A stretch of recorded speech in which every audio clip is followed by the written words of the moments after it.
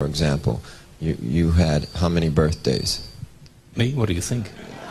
Well, I know that you had one birthday. Yeah. You were born Yeah. on a certain day. Absolutely. You had no more birthdays after that. So I don't celebrate birthdays, so that stops me from counting days, which stops me from counting time, which allows me to still look the same as I did 10 years ago, just like that lady did.